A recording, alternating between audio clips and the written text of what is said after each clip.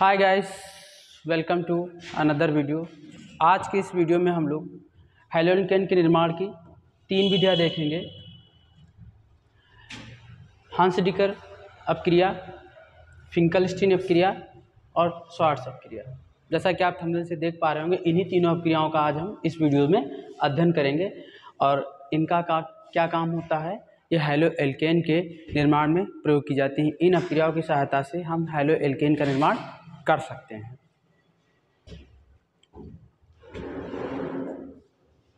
देखो, हमने अपने सबसे पहले वीडियो में बताया था हेलो एल्केन के प्रिपरेशन के पहले वीडियो में हमने बताया था कि हेलो एल्केन का प्रिपरेशन आप इन पाँच तरीक़ों से कर सकते हैं।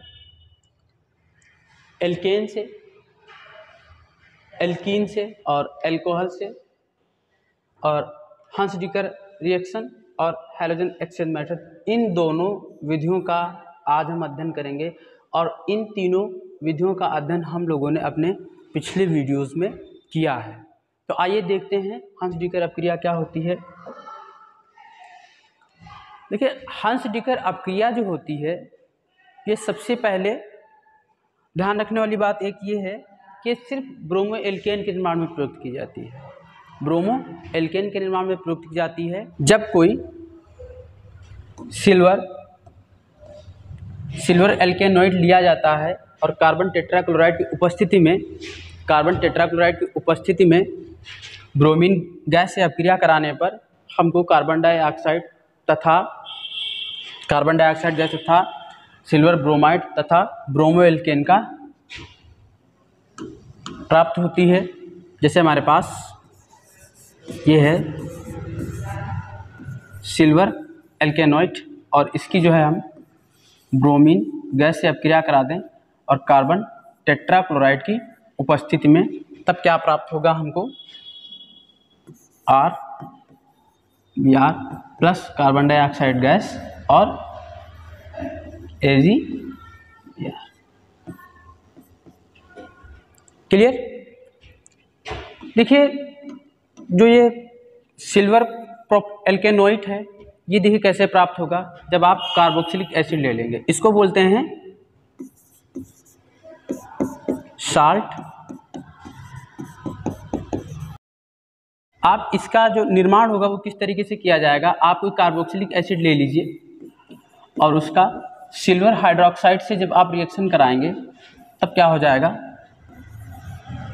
R C O O A G plus H two इसका निर्माण कुछ इस प्रकार हो जाएगा।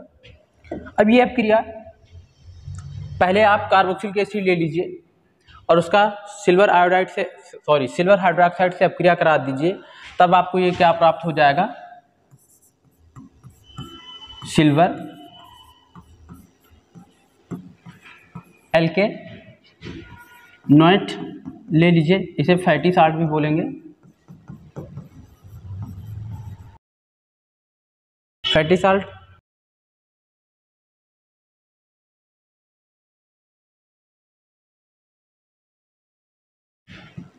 एल्केनोइट हो जाएगा। और ये क्या है? फैटी साल्ट हो जाएगा। क्लियर अब देखो, अगर इस अपक्रिया को हम देखें कैसे होगी? कैसे संपन्न हुई होगी? देखिए, आपके पास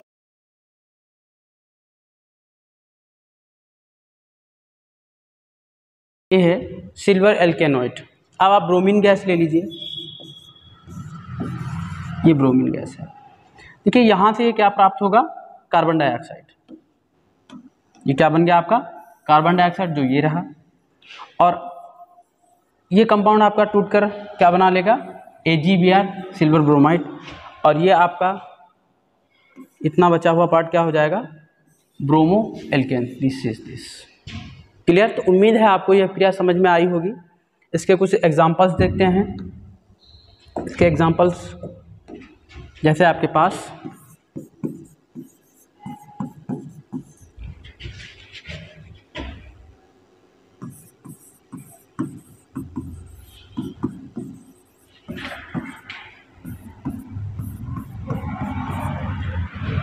ये आपके पास क्या है? इसका क्या नाम हो जाएगा? सिल्वर। प्रोपेनोइट। इसका क्या नाम हो जाएगा? सिल्वर प्रोपेनोइट हो जाएगा। और ब्रोमीन गैस से जब इसकी रिएक्शन करा देंगे, तब देखो क्या हो जाएगा ये? C S three C S two और ये ब्रोमीन इसके साथ ऐड हो जाएगा और कार्बन डाइऑक्साइड गैस रिलीज़ होगी। और क्या हो जाएगा?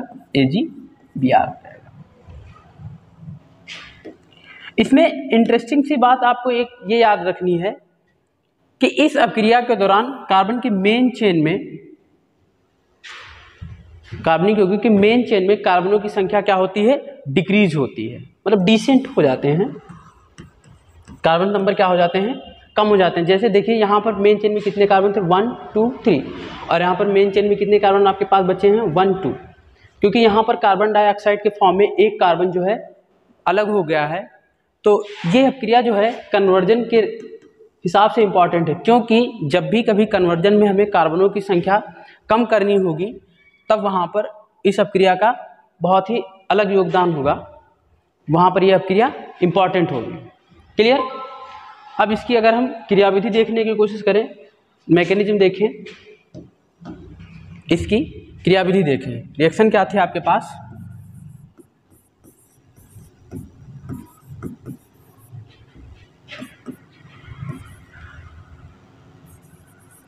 ब्रोमीन गैस और कार्बन टेट्रा क्लोराइड की उपस्थिति में तो क्या बना रहा था? R B R plus carbon dioxide plus A G B R ये रिएक्शन बना रहा था। अब इसकी अगर हम मैकेनिज्म देखें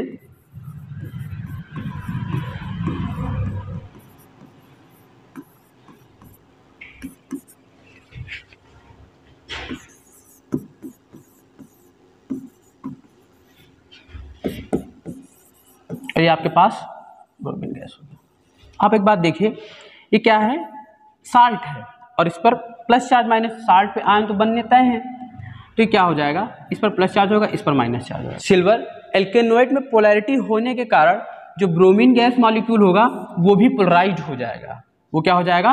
पोलराइज हो जाएगा इस प्रकार, और इस पर स्लाइटली माइनस चार्ज और स्लाइटली प्लस चार्ज मतलब पार्शियल नेगेटिव चार्ज और पार्शियल पॉजिटिव चार्ज आ जाएगा। तो उससे क्या होगा? ये हो जाएगा अलग। तब आर सी ओ ओ और ये ब्यास के साथ ऐड हो जाएगा। और ये ए जी बी आर बाहर हो जाएगा। अब ये जो कंपाउंड है, इसमें क्या होगा? इसका स्ट्रक्चर अगर देखा जाए तो कुछ इस प्रकार का होगा।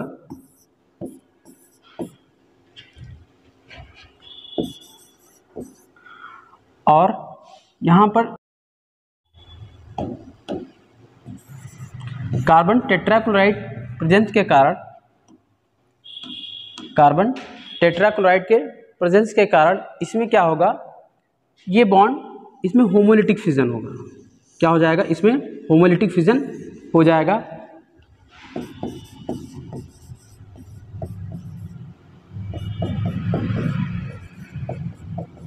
संविदलन हो जाएगा। और इसमें क्या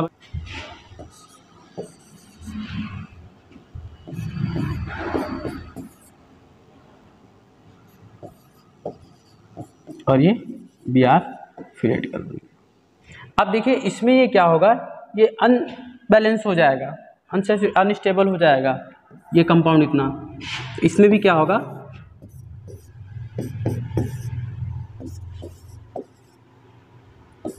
और इसमें ये बाद में क्या होगा, ये फ्री रेडिकल्स इसमें भी ये बॉन्ड तोड़ के होमोलिटिक फिजन करके और ये कंपाउंड इतना अलग हो जाएगा और ये क्या बचेगा आपका फ्री रेडिकल्स हो जाएगा और ये कार्बन डाइऑक्साइड बाहर हो जाएगी। अब ये आर जो होगा फ्री रेडिकल्स और ये जो ब्रोमीन फ्री रेड ब्रोमीन का फ्री रेडिकल है, ये दोनों मिलकर ब्रोमो एल्केन का निर्माण कर देंगे। किसका निर्माण कर देंगे? ब्रोमो एल्केन का। उम्मीद है आपको चीज़ समझ में आई होगी। आइए हम आपको इसको फिर से एक्सप्लेन करते हैं। आपके पास सिल्वर एल्केनोइड था ब्रोमीन गैस से अपक्रिया कार्बन टेट्राक्लोराइड की उपस्थिति में कराने पर ब्रोमो एल्केन प्राप्त हो रहा था कार्बन डाइऑक्साइड और एजीवार सिल्वर ब्रोमाइड की क्रियाविधि में हमने देखा कि देखिए सिल्वर एल्केनोइड लेने पर देखिए, इसमें देखिए ये एक तरीके का क्या है? साल्ट इस साल्ट में क्या होगा? आयन होंगे। इस पर ये स्लाइटली पोलराइजेशन आ जाएगा। इसकी पोलैरिटी के कारण सिल्वर, एल्केनोइड की पोलैरिटी के कारण ब्रोमीन गैस जो होगी, वो भी पोलराइज हो जाएगी तो उसमें भी पोलैरिटी आ जाएगी तो एक ब्रोमीन पर पार्सल पॉजिटिव चार्ज आ जाएगा, दूसरी ब्रोमीन पर पार्सल नेगेटिव चार्ज आ जाएगा। इसके कारण क्या होगा, फिर जब पॉजिटिव नेगेटिव चार्ज आ जाएगा तो ए जी बी आर बाहर हो जाएगा, और ये आपका, ये कंपाउंड रिमेनिंग कंपाउंड बचेगा। अब इसमें क्या होगा कार्बन टेट्राक्लोराइड की प्रेजेंस में ये वाला जो बॉन्ड होगा होमोलिटिक फ्यूजन के कारण ब्रेक हो जाएगा। तो ब्रेक होने पे क्या बनेगा, एक ब्रोमीन का फ्री रेडिकल बनेगा, और एक कार्बोक्सिलिक एसिड का फ्री रेडिकल्स बनेगा।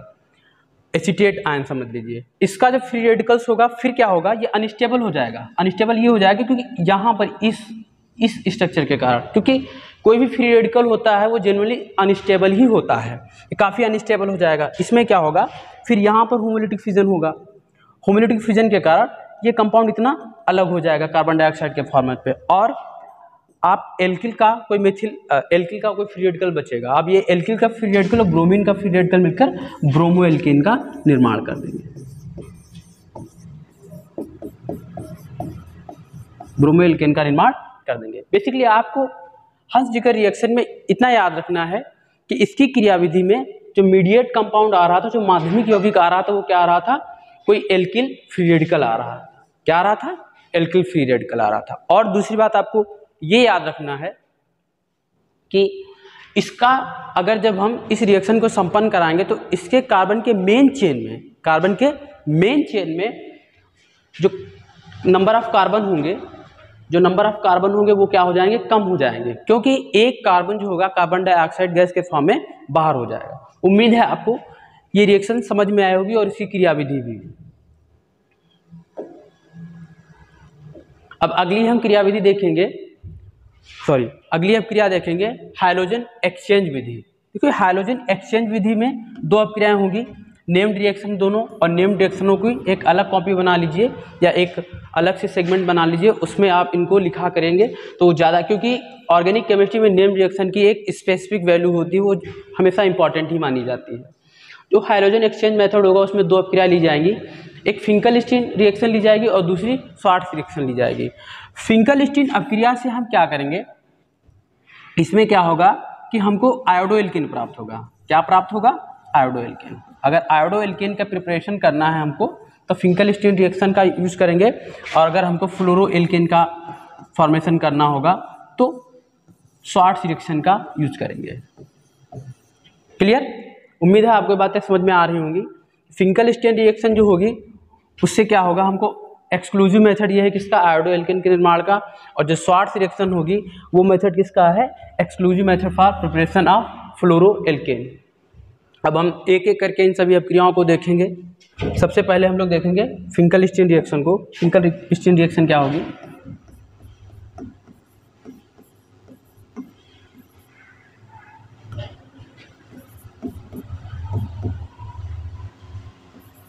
फिंकल स्टीन रिएक्शन देखिए फिंकल स्टीन में रिएक्शन में क्या होगा?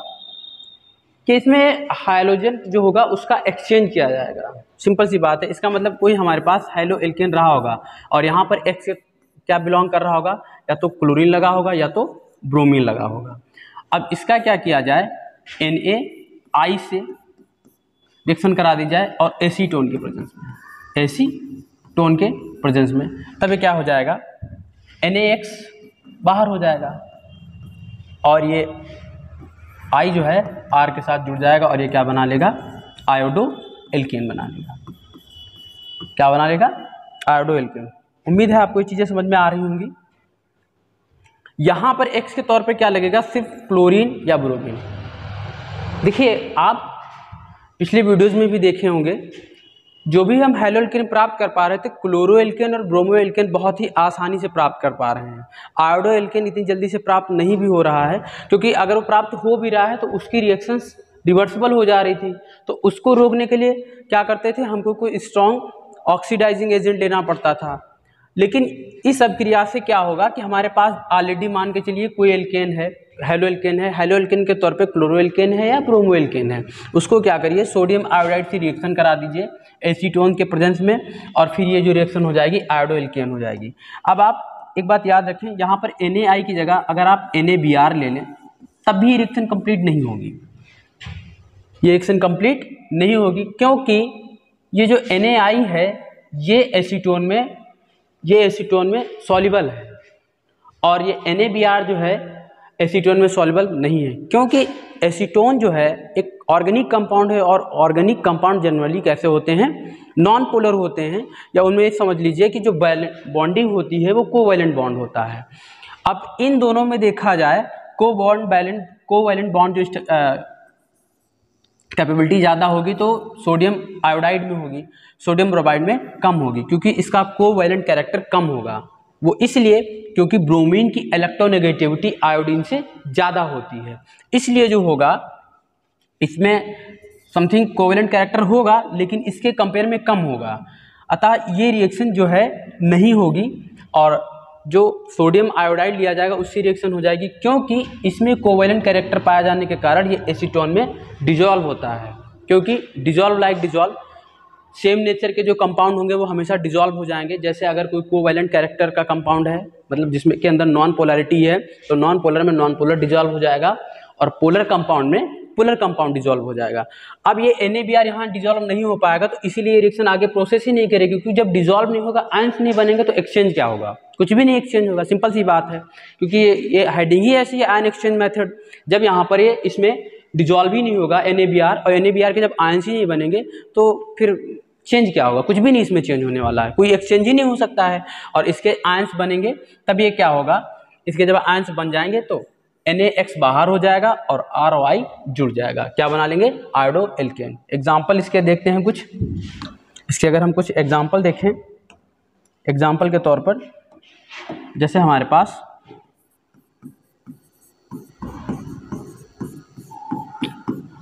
क्लोरोइथेन है और सोडियम आयोडाइड है। ध्यान रहे यहाँ पर, एसीटोन के प्रेजेंस में इरेक्शन होगी। और करने पे क्या होगा? एन बाहर हो जाएगा। C S three, C S two और आई प्लस का N A C L clear? ये देखिए हमको क्या प्राप्त हो गया? आयोडो एल्केन प्राप्त, सॉरी, आयोडो इथेन क्या प्राप्त हो गया? आयोडो इथेन उम्मीद है आपको चीज़ें समझ में आ रही होंगी। और ध्यान रखना, जो फिंकल स्टीन मैथड होता है, ये exclusive method for preparation of iodoalkane है। आयोडो एल्केन जब भी आपको कोई रिएक्शन या कोई क्वेश्चन ऐसा दिया गया हो, जिसमें आपको आयोडो एल्केन प्राप्त करना हो तो आप क्या करिए, कोई भी कंपाउंड दिया हो, आप किसी तरीके से उसको क्लोरो एल्केन या ब्रोमो एल्केन में कन्वर्ट कर दीजिए, फिर इसमें फिंकल स्टीन मेथड लगा दीजिए और वो आयोडो एल्केन में कन्वर्ट हो जाएगा। ये रिएक्शन कन्वर्जन में खास इंपॉर्टेंट रहेगी। ध्यान रखना, जब भी कभी आपसे आयोडो एल्केन की मतलब पूछ रहा हो कि आयोडल का निर्माण आप कैसे कर सकते हैं, कि कैसे फाइंड कर सकते हैं उसको या उसका निर्माण कीजिए। तो आपको क्या करना है कि कोई भी गिवन कंपाउंड उसको क्लोरो एल्केन या ब्रोमो एल्केन में कन्वर्ट कर दीजिए और फिर फिंकल स्टीन मेथड लगाकर उसको आप आयोडो एल्केन में कन्वर्ट कर सकते हैं। क्लियर अब इसके बाद अगली जो रिएक्शन होगी, वो है Swarts reaction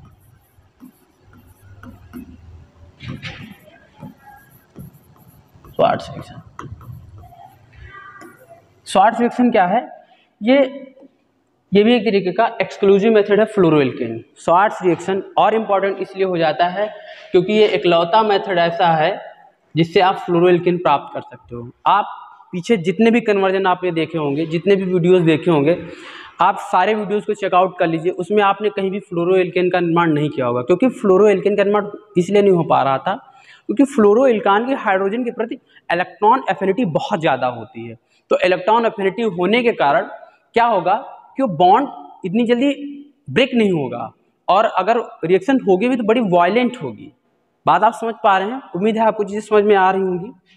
तो रिएक्शन क्या हो जाएगी? बहुत वायलेंट हो जाएगी। उसको कंप्लीट करने की बहुत एनर्जी की रिक्वायरमेंट होगी, जो इतना ईजिली होगा नहीं।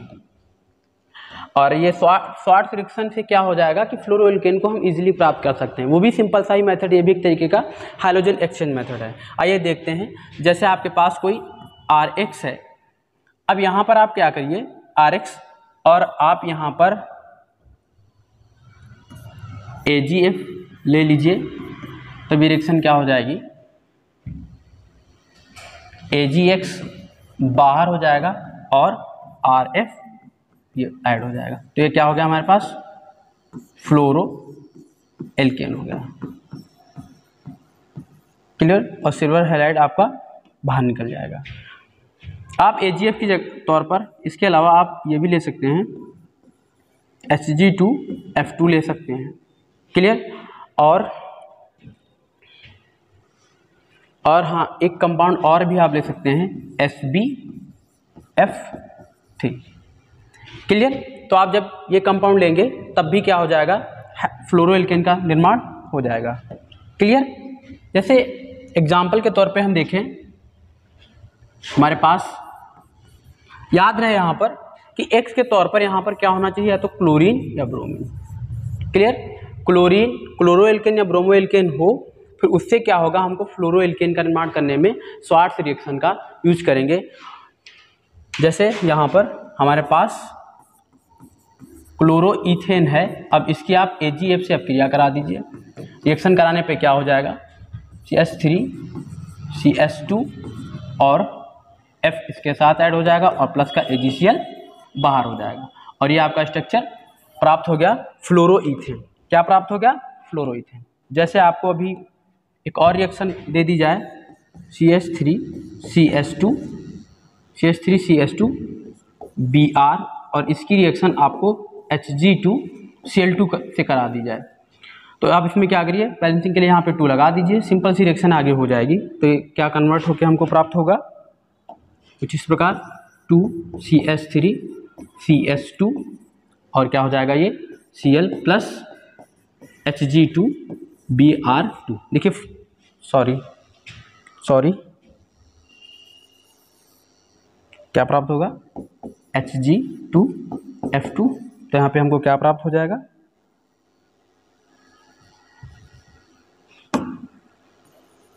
क्या प्राप्त हो जाएगा यहाँ पर? ये, देखो फ्लोरो इथेन यहाँ पर भी प्राप्त हो गया। क्लियर उम्मीद है आपको ये रिएक्शन समझ में आए होंगे। अब हम अपने अगले वीडियोस में हेलोल्किन प्रिपरेशन मेथड में जितने भी मेथड यूज़ हुए हैं, इससे रिलेटेड जो भी अभी तक जेई नीट आईआईटी में क्वेश्चंस आए हुए उसका अगला वीडियो लेकर आएँगे। तो आज के वीडियो में इतना ही। तब तक के अपना खास ख्याल रखें और हमको फीडबैक ज़रूर देते रहें कि कौन सी, जो चीज़ आपको ना समझ में आई हो, वो आप उनको बताते रहिएगा। हम उसको क्लियर अगले वीडियो में एक्सप्लेन कर दिया करेंगे। तब आज के वीडियो में इतना ही।